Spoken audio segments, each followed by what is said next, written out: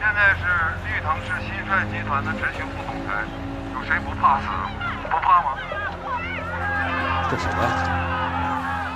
这他妈都是什么？李飞阳，你他妈给我看看这什么？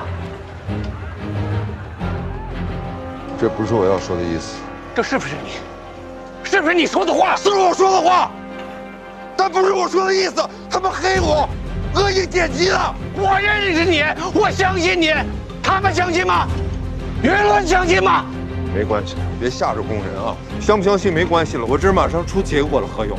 我要把尸体挖出来，就现在，就今天。